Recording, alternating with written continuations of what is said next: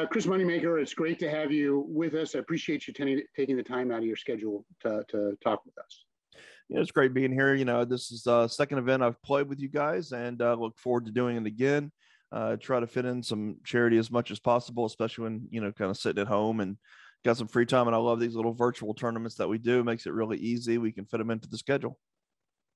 Well, uh, yeah, we appreciate it. As, and as you just said, we're we've got a uh, online poker tournament coming up for uh, that benefits the Chicago Lighthouse.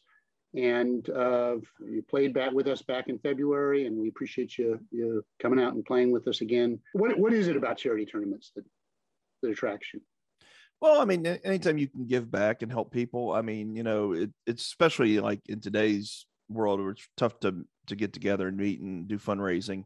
Um, it's really hard to have ideas to to raise money for organizations that really need the help and poker is a pretty good way to um, raise that money without having to interact with people and without having to you know socially interact which um, you know we're hopefully getting back to a little bit more normalcy but um, it's it's good to have this version and be able to to do this and do it from the home um, and help basically raise money for organizations that desperately need it. Um, so and again it's something I just enjoy doing on the side. And, um, you know, it gives me a, you know, I, I take up people's money for a living. So uh, to give back is always a nice thing. you know, poker's a zero sum game. So if I win, someone's got to lose.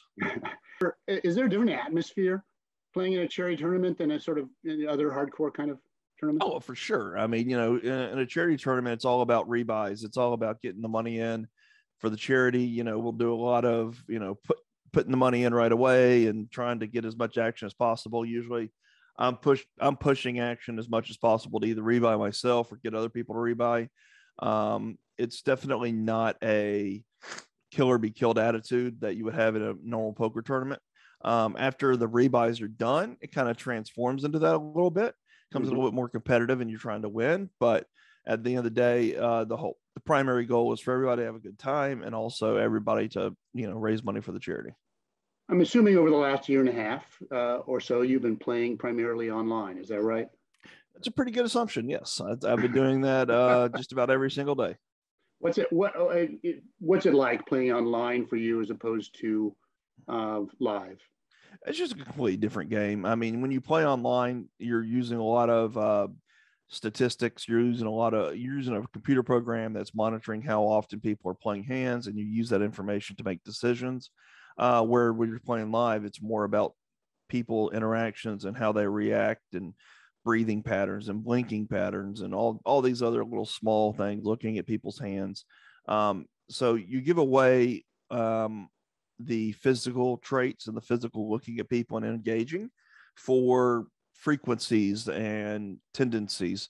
Um, so it's a lot different to actually play online versus on uh, live. And some people have a tough time can you know transitioning from one to the other whether they're not as comfortable playing live or they don't understand uh, that online is a much different game. Online people don't value their tournament life as much so they're much more willing to go broke because they can just go play another tournament very easily. It's easy to play seven eight tournaments at a time where if you go in and play live you've invested the time to go to the casino to play the tournament and you don't want to bust. You want to experience that as long as possible. So you value your tournament life.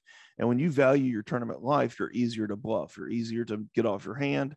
So you're easier to play in general. And you can really tell when you're playing with somebody who you can run off hands and who who is uh, willing to gamble. And it's a little bit more polarized, if you will. More people are making these um, extreme decisions based on the different criteria of playing online or playing live.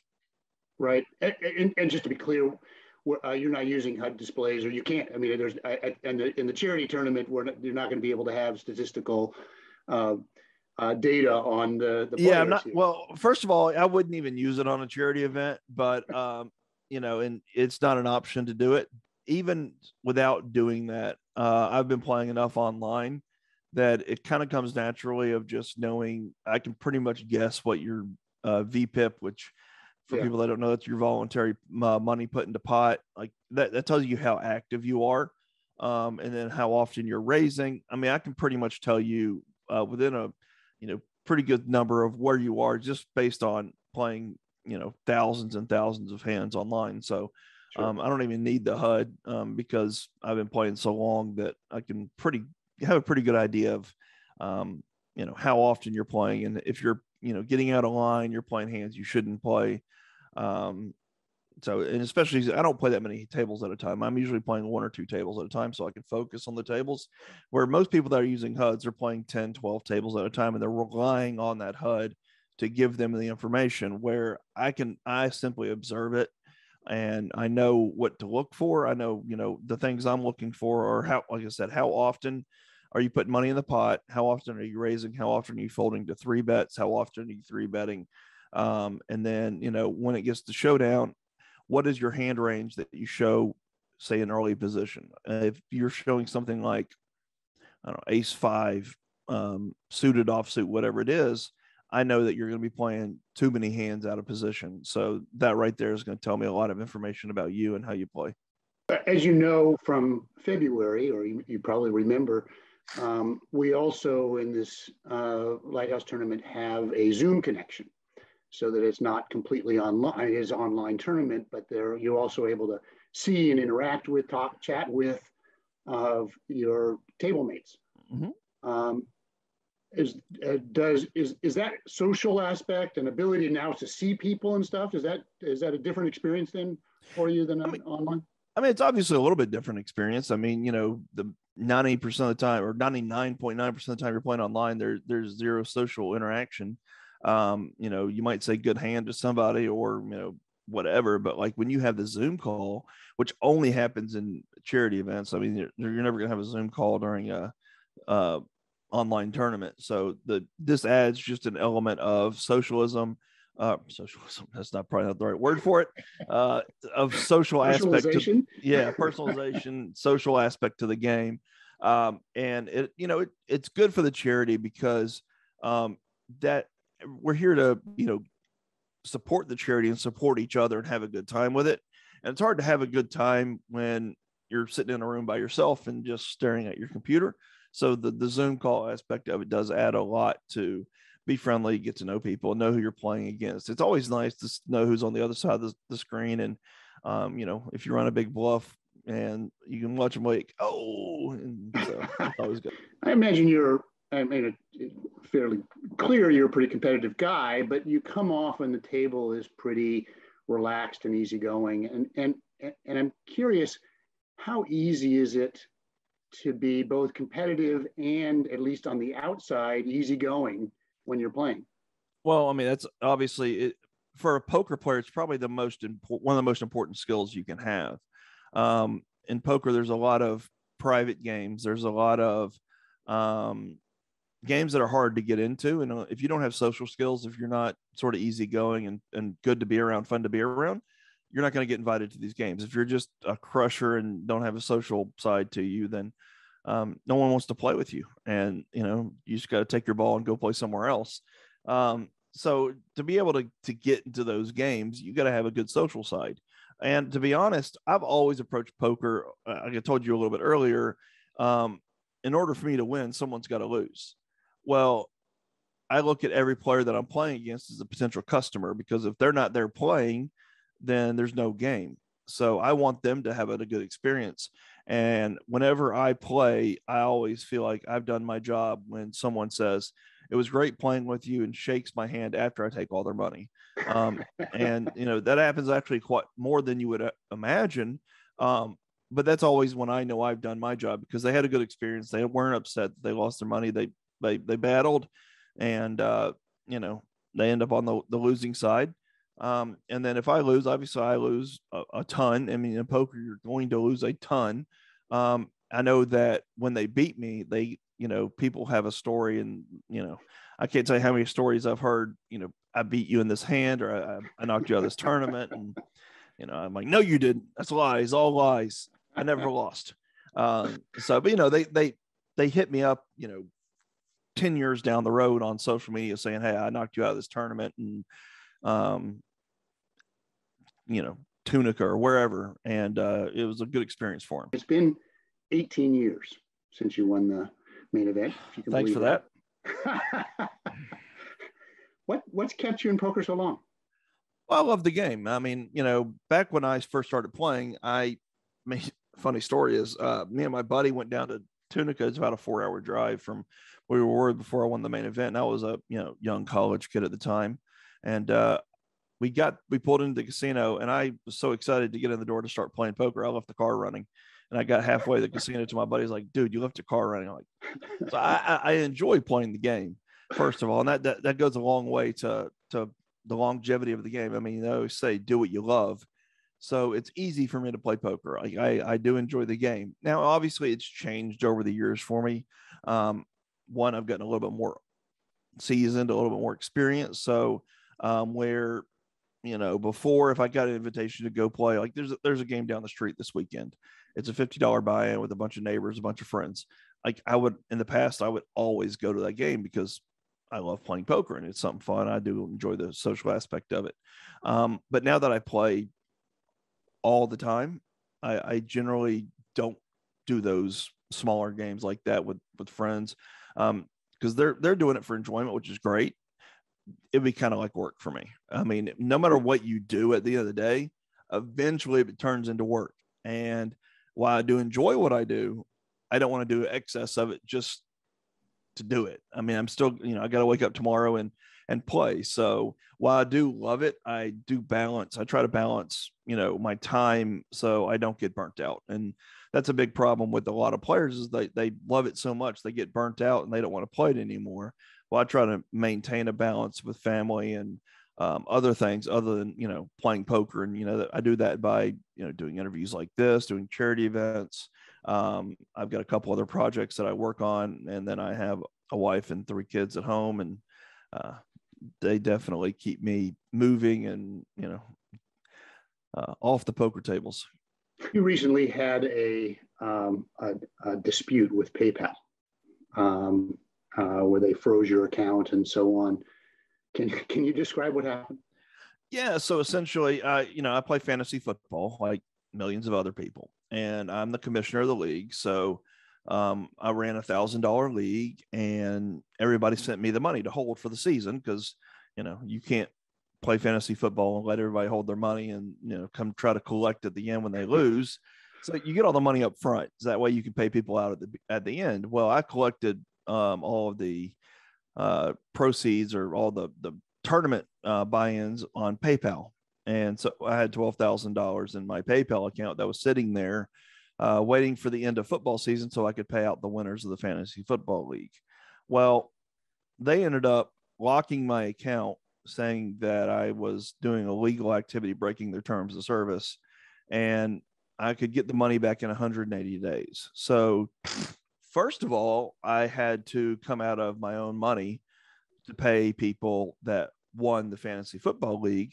Um, but I knew I would get the money back in 180 days or whatever, and you know whatever, I just put it back in the account. Um, well, it came to about 160 days when I'm locked into my account and my money disappeared. They came and they said that for every instance of um, someone sending me money that was they deemed against uh, their terms of service, they took a $2,500 penalty. Um, that was uh, be you know when you sign up for PayPal, you you sign something saying that if they find that you've broken in their view terms of service, whatever that is, um, they're going to take twenty five hundred dollars. So they cleaned my account out essentially. Um, obviously, this upset me, and I went on social media and you know complained. And um, when I did that, we come to find out that there's hundreds, if not thousands, of people that have done that have gone through this, and a lot of them are not doing it with fantasy football. I mean, we've had charities, we've had legit businesses, we've had so many. I mean, the lawsuits that we started, we, we started a class action suit against PayPal, and um, there is millions of dollars that they are just essentially confiscating from people's account for no reason. Now, you know, you might look at my my thing and say, well, you know, fantasy football, you should have lost the money. It, it's, it wasn't your money. But they've taken money out of, you know, again, pet charities and legit businesses, and it's hundreds of thousands of dollars. And they generally do this when um, you have a lot of money in your account. So PayPal for me, what they did is they did this, but and I threatened them and um, you know, didn't hear anything from it. But once we started the the process, uh, the process of the lawsuit, getting the class action together, and um, they start we started getting momentum. All of a sudden, I go back and I have the money back in my account. It reappeared in my account, and I was able to withdraw it, and I got my twelve thousand out of there. And I assumed that I guess that they thought I would just go away at that point, and um, you know they they pay me my money, so I, I would just go on and, and and leave them alone. Well, I'd already told them if they don't pay me like you know this week, I'm going to come after them no matter what. So I'm I stayed with the lawsuit. Um, I, I'm not getting anything out of the lawsuit anymore, but I'm just an advisor trying to get people together, and you know basically being a voice to try to get other people's money back because even though I got paid back, there's hundreds of thousands of other people out there that are not being able to be paid back because they don't have a voice, and that's just not right. What they're doing, it it, it can't be legal to what they're doing is where they literally are just stealing people's money and people don't realize it and it could be you could be as innocent as you know taking getting money for for rent from your renters and they'll just come and, and they can swipe your money if they, they think it's breaking their terms of service for any reason i mean mm-hmm. again you can collect money for this charity and they can just come and take all the money and especially when you have a company like paypal for example that takes money from draftkings and takes money from other gambling organizations. Like I can go and, and fund my DraftKings account, which is a daily fantasy sports account, or it's a gambling account through PayPal. But since pay, you know my fantasy league, PayPal's not making their their rip their money off of that deal. They they feel like they can come in and just take my money. Um, you know, if you're if you're going to be a company, either take the vig off every transaction so you make your money, but don't don't penalize you know somebody for using your product uh, whether it be for gambling or for charity uh, just because you feel like it in the last few years of uh, the, uh, many players have adapted their plays to gto and solver strategies how much have you done that uh, quite a bit. I've, I'm working with a group uh, working on GTO. We use solvers, and uh, you know what a lot of people don't understand is um, you don't really want to pattern your game after GTO. People hear this term of game theory optimal, playing perfect poker. Um, but what people don't understand is um, if you play game theory optimal poker or perfect poker, you're actually giving your all you're doing is making it to where your opponents can't exploit you but you're also not exploiting any of your opponents. So you're playing a zero sum game a yeah. lot of times. You're playing a game where you know you're not going to get taken advantage of, but you're not going to take advantage of anybody else. So what you really need to do as a poker player is realize what GTO is, learn what it is, and then how to adapt away from that to exploit and to make money. Um, because if you just play the computer way, the GTO way all the time, you're not going to make any money. You're going to forgive people's mistakes as much as you're going to safeguard you from people taking advantage of you. So you use the game theory optimal, the, the best play when you're playing against a superior opponent. But when you're playing against a weaker opponent, that's when you deviate and you play a more exploitive style where they could take advantage of you if they knew how. But since they don't know how, you know that you can deviate, and that's how you make your money in poker. Back in when I first started playing, it was, "Ooh, I have aces, good, let's go," or "I have ace king." Um, you know, you just have a hand and you go with it. There's a lot of evolutions into being a poker player. Some is, you know, knowing what I have, knowing what your opponent has, making you think you know what I have, et cetera, et cetera. It goes. There's so many different levels to it. Well, when you talk, start talking about GTO and you start talking about all these sims and stuff, it's over the course of the years, it's definitely changed the game but the thing is, the decision tree that you have at every different point, the more hands that you play pre flop, the bigger your decision tree gets, the more complex it gets. So you can never really play, it's really hard to play perfect game theory optimal poker. Um, even though you still, you're not really wanting to do that. It's really hard to even do it if you wanted to because there's the, the decision tree is so big. Every time you make a decision, it comes with consequences. It comes with another whole tree of decisions that follows. So as you can see, when you make your make your first decision, that's going to make so many different um, variables go into play for your next decision. You know, the flops, your opponents, all these different things are these variables. And usually, you know, for GTO, it's not really your opponents, your your opponent's stack size specifically. Uh, GTO doesn't take into consideration opponents. It's assuming that your opponent is the perfect player. So, and that's what makes GTO so good is because you're always, if you're playing against superior opponents, it's going to give you the best answer against a superior opponent. Um, but it does take into consideration their stack size, the pot size, and things like that. But everything, uh, every decision you make will affect future decisions. So you can never always play perfect with GTO, but it does affect the game and and how we approach it today. And it also affects, honestly, for me and for a lot of players, it takes away the emotional side of the game where you get so um, beat up about taking bad beats. I mean, you know, obviously in this game, you're going to lose, you're going to take bad beats, you're going to get sucked out on the river. That's just part of the game. Once you learn a little bit more about GTO, you learn about variance and you learn how often this actually happens. So when it happens to you, it's like, yeah, it happens. No big deal. It's going to happen for me as much as it happens against me. And that's a big, you know, honestly, as a poker player, that's a really big thing to, to get over to know that um, this is just variance and it happens. And it, it's one thing to say it, but it's another thing to actually study it and live it and see it and not be bothered by it. Thank you again for your time. Very, very helpful and uh, appreciate uh, uh, uh thoughts and, and uh, uh, perspectives you have here. It's, I look forward to playing with you in, in a few weeks. Sounds like a plan. Look forward to taking all your cash and making you rebuy for charity. You know. Fantastic. Love it.